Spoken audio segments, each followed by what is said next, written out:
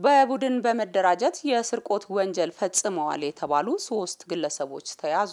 ሳጅን አዳነ ደስታ ተጠርጣሪዎቹ የስርቆት ወንጀሉን ሲፈጽሙ የነበረው በለሚኩራ ክፍለ ከተማ ወረዳ 14 አባዶ የጋራ መኖሪያ ቤቶች አካባቢ ነው። የአባዶ አካባቢ ፖሊስ ጣቢያ ልዩ ልዩ ወንጀል ምርመራ team ኃላፊ ኢንስፔክተር ሸዋንቻለው አልታየ እንደተናገሩት በቀኑ ክፍለ ጊዜ በመዶሻ የመኖሪያ ቤት በር በመስበር የስርቆት ወንጀል ለመፈጸም ሙከራ ሲያደርጉ የነበሩ ሶስት ተጠርጣሪዎችን በመያዝ ከሶስት ግለሰቦች ቤት የተሰረቀ ንብረቶችን ማስመለስ መቻሉን ተናግረዋል። ተበዳይ ያልነበረችም በሌለችበት ነው የወንጀል ድርጊት የተፈጸመው። እነዚህ ተጠርጣሪዎች ከተያዙ በኋላ ሶስት የሚሆኑ የምርመራ መዝገቦች ላይ ምርመራ በማስፋት በቤት ሰብረው ስርቆት ተወስዶ የነበሩ የተለያዩ ንብረቶች ማስመለስ ችለናል። ከነዚህ ውስጥ ንብረቶች ውስጥ ሶስቱ ቴሌቪዥን ናቸው።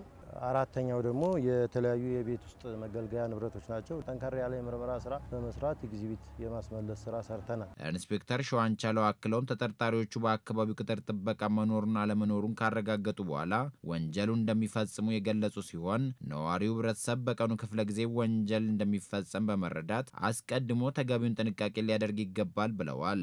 ቤት ዘግተው ወደ ስራ ሊሄዱ ይችላሉ። ነገር ግን በቀኑ ክፍለ ጊዜ ሊፈጸሙ የሚችሉ ወንጀሎች ያሉ ስለመሆኑ ተረድቶ የአካባቢውን በንቃት የመጠበቅ ስራ ቢሰራና ለፖሊስ የማገዝ ስራ ቢሰራ ተከሳሾች ከህግ ሊያመልጡ የማይችሉ መሆናቸውን መሆኑን ማረጋገጥ ይቻላል ማለት ነው።